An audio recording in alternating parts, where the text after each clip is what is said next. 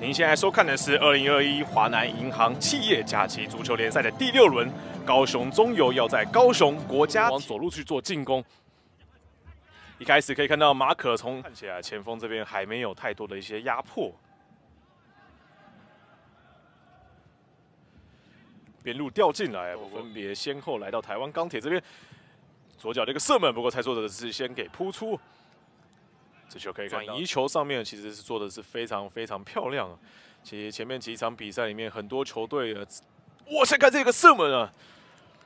这个射门可以看到，这一瞬间啊，这来挑战看看蔡硕哲专注的情况啊。马可刚刚是用左脚先，刚刚是在中场接应之后啊，但看到交给郑俊贤之后，马上在前后的夹击的情况下，台湾中游这边站位上面会如何去？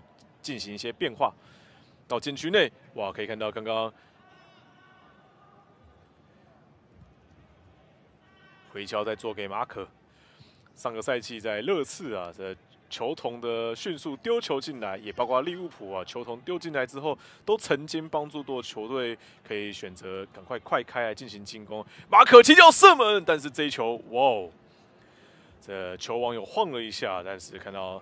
在威胁到蔡硕哲之前啊，已经先出了边界，先出了底线，稍微晃一下脚法之后啊，不过看到林文瑞并不不为所动啊，但是看到这一球，蔡硕哲的站位来说，啊要是比较关注的部分，比较不是在镜头上方啊，而是你可以观察到，甚至场边的教练席啊，甚至是这热身的状况，你都会觉得哎一览无遗，其实还蛮不同的一个情况。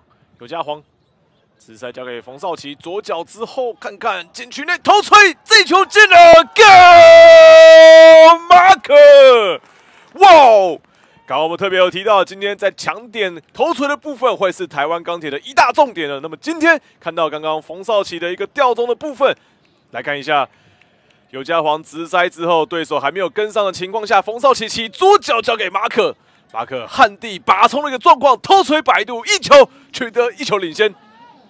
先帮助台湾钢铁，今天做客来到国家体育场，先面对到主场球队，这台湾中游先取得一球领先，马上啊起左脚的情况下掉的是非常非常精准啊，所以看到马可，这一来一往之间啊，在短短不到五分钟之内啊，可以看到台湾中。诶，多加加强一下，毕竟说人在这种亚协杯的赛事里面，面对到各家的职业球队的肩膀啊，来去干扰一下对方拿球情形。马克面对到对方的防守选手，可以看到进攻选手马上呃在主力的门将位置有点饱受威胁的情况下，看这一球在起脚射门，但是被防守选手直接铲了出去。可以看到今天中游的后卫的。组合啊，其实在补位的时间点都做得非常非常的漂亮。马克其左脚掉到中路，但是看到在安以恩周边都有四名的防守选手往前送的情况下，安以恩拿下第一落点。马克赶快的再交易到尤家煌这边，观察一下前场的动向。再往左边，马可起左脚。哎呦，情况来讲，这种身体恢复多半都会比较操劳一些。哦，这个射门啊！但是这看到蔡硕哲这球，不过球权还在台湾钢铁这边。马可这边拿到球之后，在左路动了一些油炸啊或者是卤啊之类的为主。其实对于外国选手来讲，这个都是还蛮这新奇的，所以不大能够适应。看一下这球，安以恩。起左脚射门，这球看到蔡作哲，毕竟有点点像是表现不佳的情况被这试出啊。来看看这一球，马可没到对方的洋将宋汉基，但是铲断之后，球权还是在马可脚下。左脚送到安怡，多数的选手赶快到小禁区内来进行压迫。来看一下这一球，哇，这一球蔡作哲是把这一球禁区内创造一个进攻机会。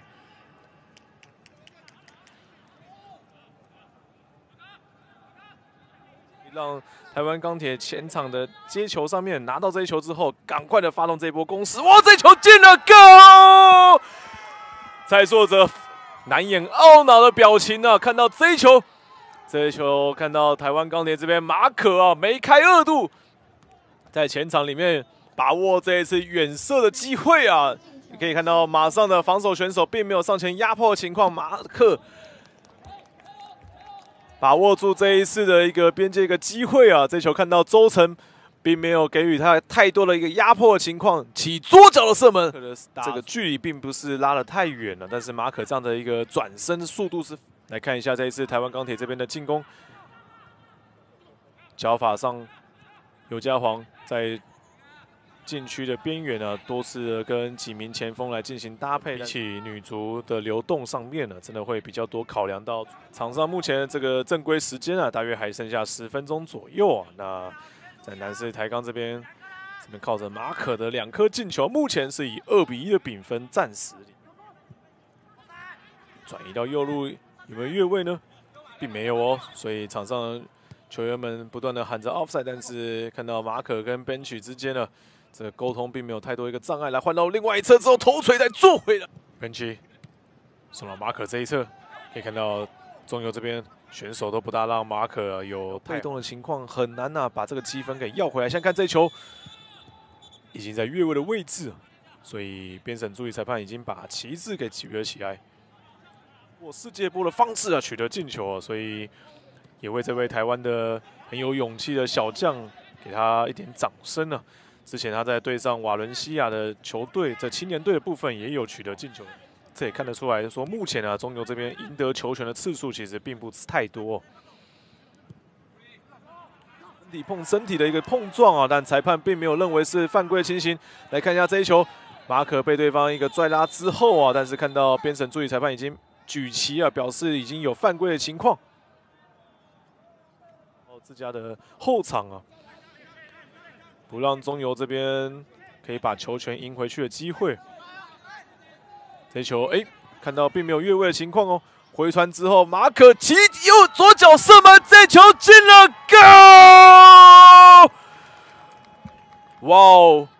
这吴俊清啊，赶快的擦拭一下马可的金靴，三比一的比分领先台湾中游。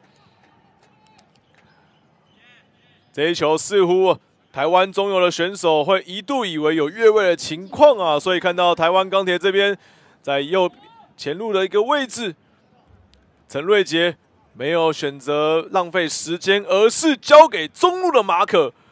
马可发现有一个起脚的时机点之。但是可惜啊，中游这边啊，这个进球来。